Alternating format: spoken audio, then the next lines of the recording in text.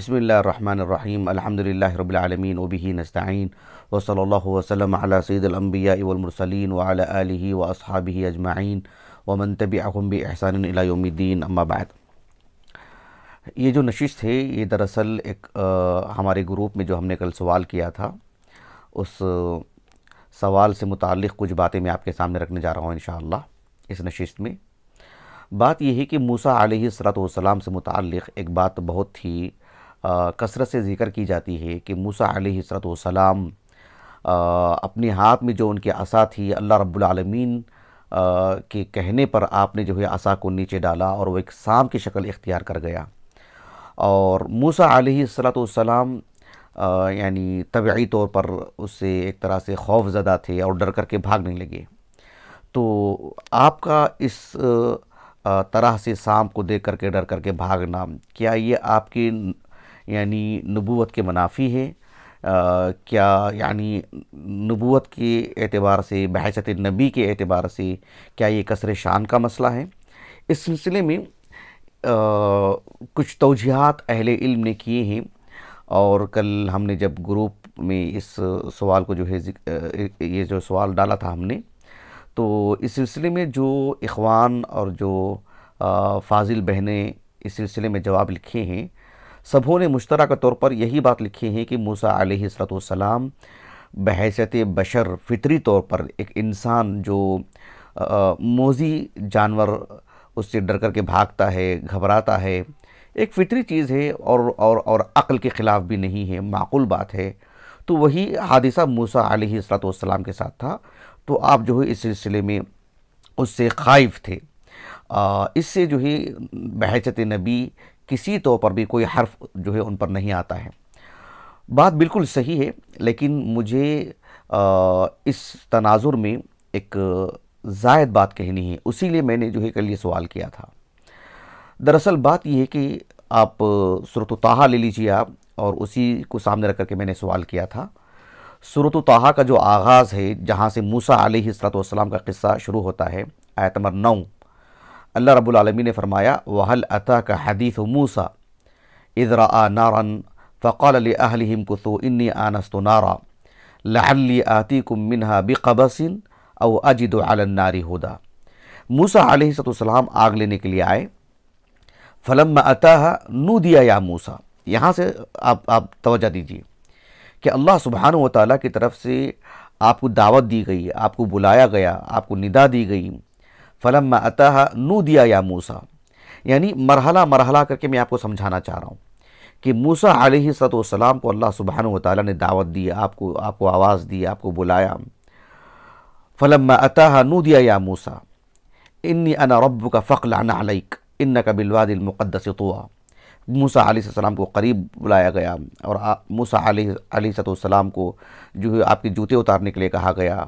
گویا کہ ایک طرح کی بات چیت ہو رہی ہے، اللہ رب العالمین سے آپ ہم کلام ہو رہے ہیں۔ اللہ رب العالمین نے فرمایا کہ وَأَنَ اخْتَرْتُكَ فَاسْتَمِعْ لِمَا يُوحَا إِنَّنِي أَنَا اللَّهَ لَا إِلَهَ إِلَّا أَنَا فَاعْبُدْنِي وَأَقِمِ الصَّلَاةَ لِذِكْرِي إِنَّ السَّاعَةَ آتِيَةٌ أَكَادُ أُخْفِيهَا لِتُجْزَى كُلُّ نَفْسٍ بِمَا تَسْعَى۔ فَلَا يَصُدَّنَّكَ عَنْهَا مَن لَّا يُؤْمِنُ بِهَا وَاتَّبَعَ هَوَاهُ فَتَرْدَى۔ وما تلک بیمینک یا موسیٰ آپ دیکھیں جو گفتگو ہو رہی ہے اللہ سبحانہ وتعالی سے موسیٰ علیہ السلام کے ساتھ، ایک تو اللہ رب العالمین نے آپ کو آواز دی، آپ کو قریب کیا، آپ سے ہم کلام ہو رہے ہیں اللہ سبحانہ وتعالی۔ یہ سب چیزیں سامنے ہیں۔ موسیٰ علیہ السلام کو اللہ نے نبی بنایا، کہا کہ وہ انختر تک فسطم علما یوحا خطاب کر رہے ہیں، ان کو نبی بنا چکے ہیں، خطاب کر رہے ہیں رب العالمین ان سے۔ بات ہو رہی ہے آپ سے۔ اور پھر وما تلک بیمینک یا موسیٰ قال ہی عصائی اتوقع علیہا و بها على غنمی ولی فیہا مآرب اخرى تو یہ سب چیزیں ہو رہی ہیں موسیٰ علیہ السلام کے ہاتھ میں جو عصا تھی، آپ اپنے ضروریات زندگی کے لیے استعمال کیا کرتے تھے۔ اس کی بابت سوال ہے اور آپ نے جواب دیا، سب کچھ ہوا۔ وَلِيَا فِيهَا مَعَارِبُ اُخْرَى اللہ سبحانہ وتعالی نے کہا کہ جو ہے آپ اس عصا کو زمین پر ڈالیے۔ موسیٰ علیہ السلام نے جب اس کو جو ہے زمین پر پھینکا اس کو۔ تو اللہ رب العالمین نے کیا فرمایا کہ فَأَلْقَاهَا فَإِذَا هِيَ حَيَّةٌ تَسْعَى۔ جیسے آپ نے اس کو جو ہے ڈالا تو ایک سام کی شکل اختیار کر گئی وہ عصا اور اور اور اور جو عصا جو سام کی شکل اختیار کر گیا اور سام دوڑ رہا ہے۔ اللہ رب العالمین نے کیا فرمایا؟ قال خذہ ولا تخف۔ کہ آپ اس کو لے لیجیے، ڈریے مت۔ یہاں یہ بات جو ہے، یہ سوال پیدا ہوتا ہے کہ موسیٰ علیہ السلام نے گھبرائے نا تو آپ یہ جو گھبرائے ہیں، جس کی وجہ سے اللہ رب العالمین نے فرمایا کہ لا تخف، آپ گھبرائیے مت۔ تو آپ کی یہ جو گھبراہٹ ہے، آپ کا یہ جو خوف ہے، اس سلسلے میں جو عام طور پر یعنی ہمارے اخوان نے جو جواب دیے ہیں، جو فاضل بہنیں اس سلسلے میں جو جواب لکھے ہیں، وہ یہ، جو اہل علم بتاتے ہیں کہ انسان کے دل میں جو خوف ہوتا ہے، اس کی اس کی اقسام ہیں۔ ظاہر باتیں اس طرح کی تقسیم کرنی لازم ہے۔ اور اسی کے اعتبار سے نتیجہ نکلتا ہے، تبھی حکم حکم اس کا لگتا ہے اس پر۔ اللہ سبحانہ و تعالیٰ سے جو ایک انسان کو خوف ہونا چاہیے، اللہ رب العالمین کی کبریائی، اس کی عظمت اور اس کی نافرمانی سے بچنا اور اس کے عذاب سے ڈرنا، یہ اللہ رب العالمین کا خاصہ ہے، یہ اللہ کے ساتھ خاص ہے۔ لیکن بحیثت انسان جو ایک طبعی طور پر کئی ایک چیزوں سے ڈرتا ہے، اندھیرے سے ڈرتا ہے، مثلا اندھیرے میں جانے سے۔ یا اس میں جو ہی کوئی ایسے زہریلے کیڑے ہوں، جس میں سے سام بھی ہے، دیگر چیزیں بھی ہوں، جس کی وجہ سے انسان ایک طرح سے خوف زدہ رہتا ہے، گھبراتا ہے۔ تو یہ جو گھبراہٹ ہے، یہ جو خوف ہے، دنیا کے ہر انسان میں اللہ رب العالمین نے اس بات کو رکھے ہیں۔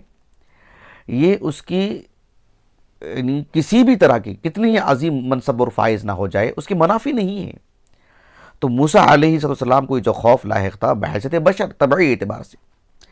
یہاں تک بات درست ہے، لیکن مجھے ایک اس سے ایک زائد بات بتانی ہے۔ وہ زائد بات بتانی ہے، وہ جو زائد بات بتانی ہے وہ یہ کہ موسیٰ علیہ السلام نے اپنے ہاتھ میں جو عصا تھی، اس کو آپ ڈالے، وہ سام کی شکل اختیار کر گیا، آپ ڈر گئے۔ اور پھر ایک وقت وہ بھی آیا، آپ دیکھیے، یہ جو صورت ہے، صورت و تاہا اب آگے پڑھتے ہوئے جائیے، آیت نمبر پینسٹھ، ساٹھ پر پانچ۔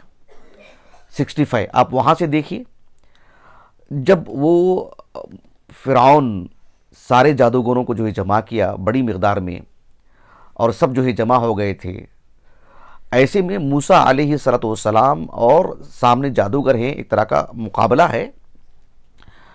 بات یہ آئی کہ جو ہے پہلے ڈالیں گے کون؟ اللہ رب العالمین نے صورت طاہا کے بالکل وسط میں کہا، اسی قصے سے متعلق کہ قالوا یا موسیٰ، اما ان تلقیا و اما ان نکون اول من القا۔ کہ یا تو آپ اپنے ہاتھ میں جو عصا ہے اس کو ڈالیے یا پھر ہم ڈالیں۔ قال بل القو، موسیٰ علیہ السلام نے کہا کہ آپ آپ آغاز کیجیے ابتدا آپ سے ہو۔ اللہ نے کیا فرمایا فَإِذَا حِبَالُهُمْ وَعِسِيُّهُمْ يُخَيَّلُ إِلَيْهِ مِنْ سِحْرِهِمْ أَنَّهَا تَسَعَى فَأَوْجَسَ فِي نَفْسِهِ خِيفَةً مُوسَى قُلْنَا لَا تَخَفْ إِنَّكَ أَنْتَ الْأَعْلَى وَأَلْقِ مَا فِي يَمِينِكَ تَلْقَفْ مَا صَنَعُوا إِنَّمَا صَنَعُوا كَيْدُ سَاحِرُ وَلَا يُفْلِحُ السَّاحِرُ حَيْثُ أَتَى بہت ہی غور طلب بات ہے جو میں فی الحال بتانے جا رہا ہوں موسیٰ علیہ السلام کا یہاں ڈرنا ایک تو بات طے ہے کہ بحیثت انسان آپ کے دل میں ایک خوف پیدا ہوا جو بشریت کے منافی نہیں ہے بھلے ہی آپ نبی ہوں، اس کے بھی منافی نہیں ہے لیکن یہاں فی الحال کا آپ کا ڈرنا یہ آپ کی نبوت کے منافی تو بہت دور کی بات، یہ آپ کی نبوت کی دلیل ہے۔ ایسے بعض اصحاب علم نے عقلی طور پر استدلال کیا۔ ایک عقلی توجہ دیکھیں۔ بعض کتب تفاصیر میں اور یعنی خاص کر یعنی متکلمین کی طرف سے جو عقدی نقطہ نظر سے جو نصارہ وغیرہ کو جو جو جوابات دیے گئے ہیں، اس زمین میں جو ہی یہ دلیل پیش کی جاتی ہے، اس دلیل کا ذکر ملتا ہے۔ ایک عالم دین ہے جو پانچویں صدی ہجری کے ہیں اور چھٹویں صدی ہجری کے آغاز میں ان کا انتقال ہوا۔ انہوں نے یہ بات بتائی ہے۔ علمی دنیا میں وہ ابو القاسم الانصاری النسابوری سے جانے جاتے ہیں۔ پانچ سو گیارہ ہجری سن وفات ہے۔ سلمان ابن ناصر آپ کا نام ہے، ابو القاسم الانصاری، جو ایک معروف عالم دین، امام الحرمین، ابو المعالی امام الحرمین، عبد الملک عبد الملک نام ہے آپ کا، ابو المعالی کنیت ہے، اور امام الحرمین آپ کا ایک علمی دنیا کا لقب ہے۔ چار سو اٹھہتر ہجری سن وفات ہے آپ کا، ایک عظیم المرتبت عالم دین۔ ان کی تلمید ہیں یہ، ابو القاسم الانصاری۔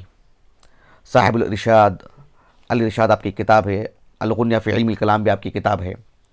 تو آپ نے اس بات کو لکھا کہ کہ یہ آپ موسیٰ علیہ السلام کا اس طرح سے ڈرنا یہ آپ کی نبوت کی دلیل ہے۔ کیسے؟ دیکھو، موسیٰ علیہ السلام کے ہاتھ میں عصا ہے۔ آپ نے ڈالا نا۔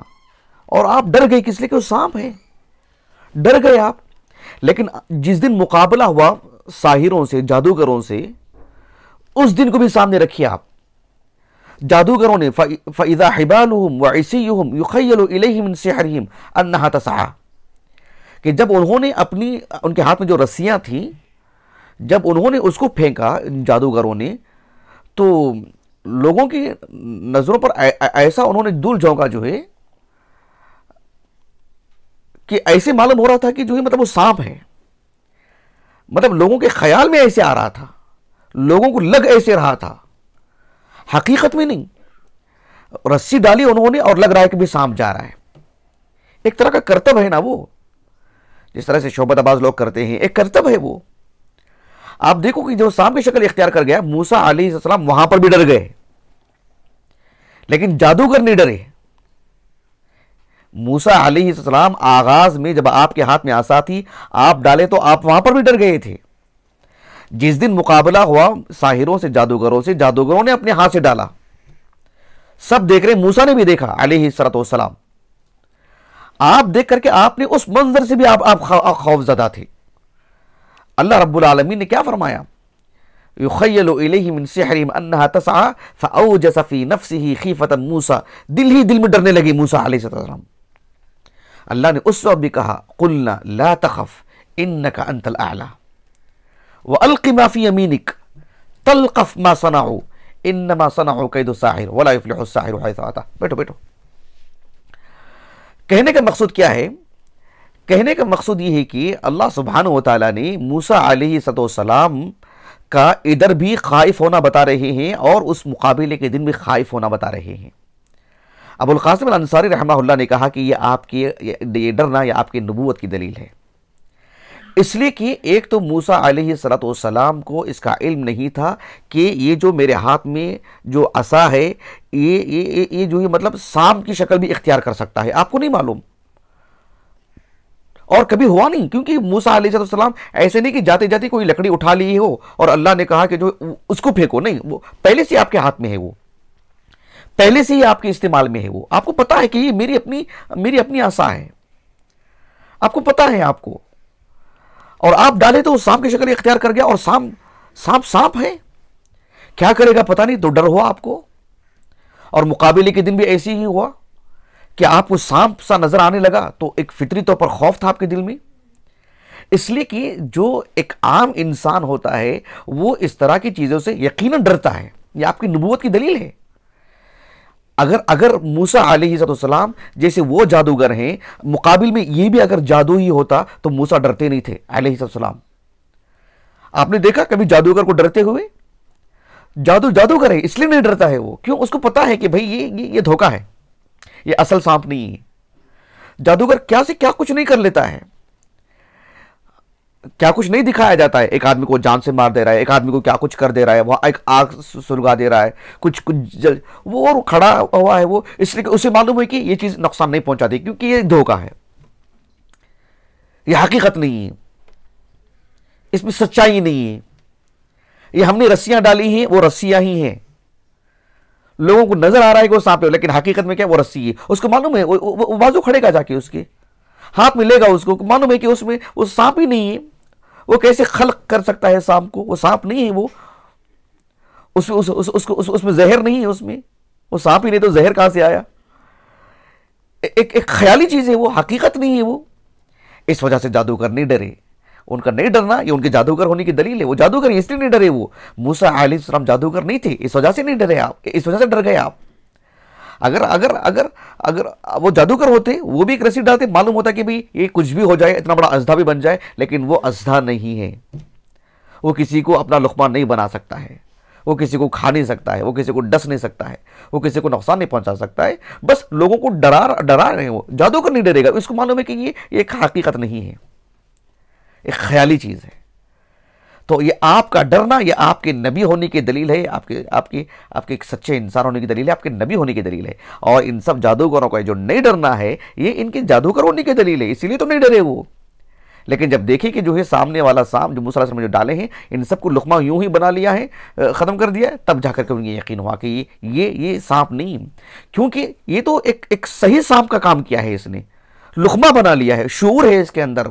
گویا کہ ایک ایک جانور کو بھی بھوک لگتی ہے، ایک جانور بھی کسی کو لقمہ بناتا ہے، اس کو لیتا ہے اپنے اندر۔ یہ سب کچھ ہوتا ہے۔ وہ خیالی چیز میں کہاں سے آئے گی وہ چیز؟ جو خیالی ہے وہ خیالی ہے، اس کے اندر تھوڑی نا چیز آئے گی وہ۔